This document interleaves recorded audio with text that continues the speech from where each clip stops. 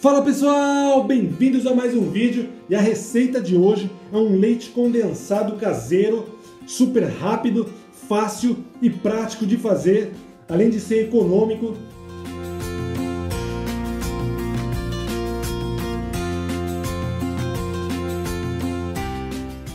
Para quem acompanha o canal sabe que eu já tenho um vídeo aqui de leite condensado caseiro, porém aquele é um que vai no fogo, tem que ficar mexendo ali sem parar por mais de uma hora, gasta muito gás, tempo.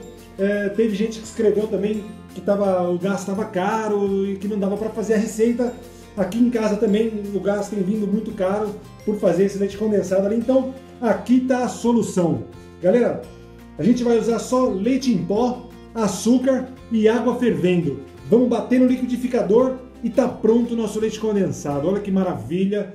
Hum, melhor que isso não tem, gente. Então, vamos ver como é que faz.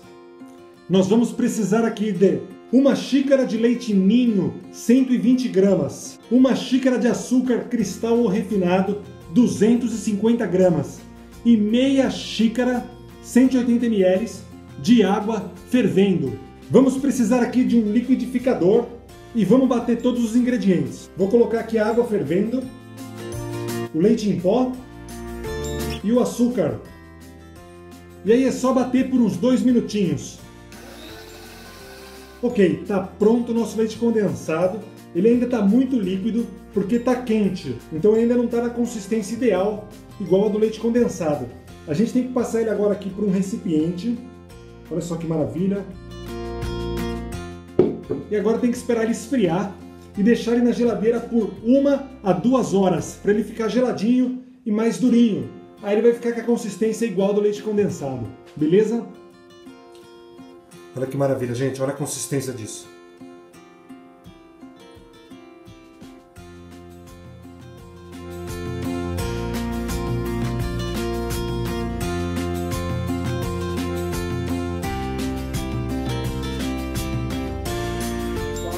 Rápido, super prático de fazer e ele fica uma delícia, igualzinho o leite condensado. Gente, maravilha, pode fazer na sua casa, eu recomendo. E você pode usar essa receita para fazer qualquer tipo de receita que vai leite condensado, pudim, brigadeiro, bolo, cobertura, fica uma delícia. Vamos experimentar então.